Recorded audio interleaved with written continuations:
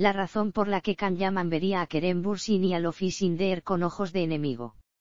Los actores han logrado colocar a la ficción otomana en la cima, pero tendrían motivos para no ser amigos.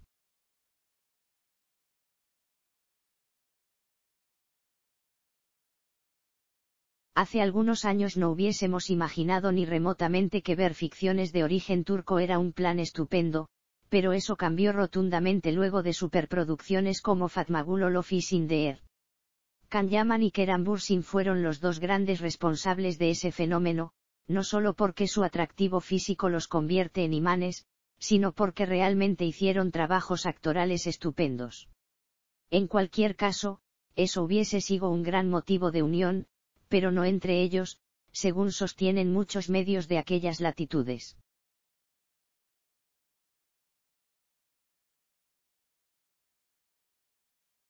Kerem Bursin se ha enterado de los rumores de enemistad con Kan Yaman y hace algunos días accedió a dialogar con la prensa de su país de origen para terminar con los supuestos, pero, aunque fue bastante claro y aseguró que el éxito no era suyo o del Office sino de la industria en general, hay muchos que no terminan de creerle y por eso es que se intenta conocer cuál podría ser el verdadero origen de la discordia.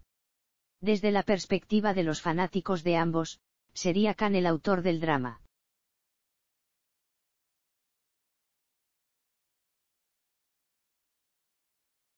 Parece que el galán de Fatmagul no pudo soportar que su colega lo sobrepasara en éxito en menos tiempo que el que a él le llevó a acomodarse en el estrellato y lo habría enfadado aún más que el novio de Handercel contara ahora con una proyección internacional a la que él jamás llegó.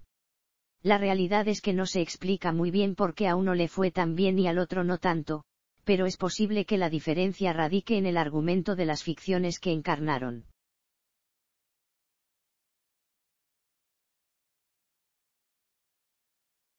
Lo Sinder es una telenovela con un sentido estético y una línea discursiva muy hollywoodense, mientras que la que tuvo a Kan Yaman como estrella se basaba más en fomentar los valores turcos, algo que no está mal bajo ningún punto de vista, pero quizás fue un ancla para que el material no funcionara en el exterior con la misma fuerza con la que lo hizo la serie en la que Kerem Bursin se ponía en la piel de un frío y controlador empresario que perdía la cabeza por una simpática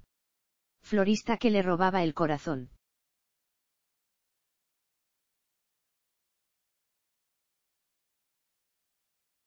Por supuesto, todos los argumentos anteriores son teorías elucubradas por los fanáticos, quienes siguen muy de cerca los pasos de Keran Bursin y de Kan Yaman. Ninguna de las partes saldrá a desmentir o a asegurar estos rumores y, si efectivamente existen motivos para la discordia, jamás podremos saberlo con total seguridad. Ambos actores son muy profesionales, priorizan sus carreras ante todo y saben perfectamente lo mucho que podría perjudicarlos admitir un escándalo de estas características. Quizás todo es una fantasía, pero no es descabellado pensar que el ego de vez en cuando se apodera de ellos y les nubla el buen juicio.